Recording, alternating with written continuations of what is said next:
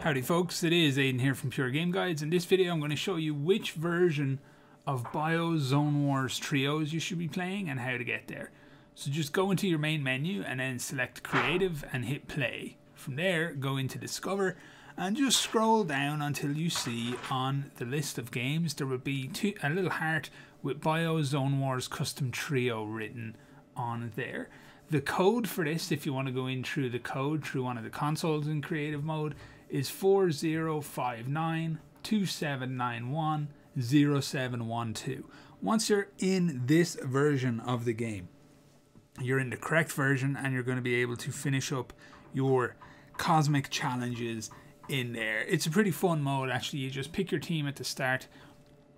Um, you spawn in a wee box. You get to pick up some general supplies, and then you just shoot each other in an ever shrinking circle. Once you're eliminated, you're out though, so be careful about that. So that's it, guys. That's where you got to go, and that's what you got to do to play Bio Zone Wars Custom Trios and complete your cosmic challenges.